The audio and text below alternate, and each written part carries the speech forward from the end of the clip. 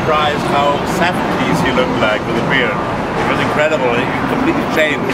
So and really, if you see the movie, you see he's really not acting very much. And he, I think it was his decision to have a slow fade and to, to not be upset. And he's, he's doing all the things he has to do and without any emotion in, in his face.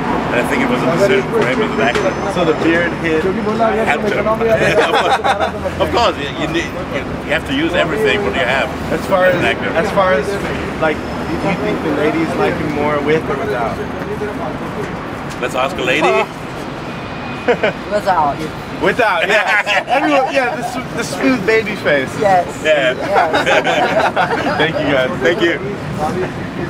Appreciate it. Yeah, congratulations on your nomination. Thank you very much.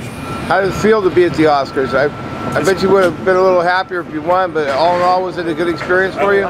In the end, we won because we got best foreign film.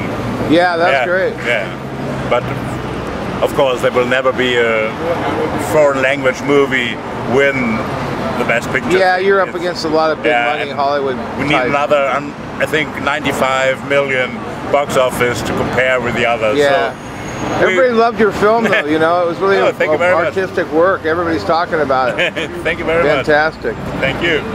So, what's your next project? Another French Uh, film, or We are doing a movie with uh, Werner Herzog. You know, these guy from the 70s who made Uh-huh. all the Fitzcarraldo and these Oh, yeah. movies. And we're gonna shoot here.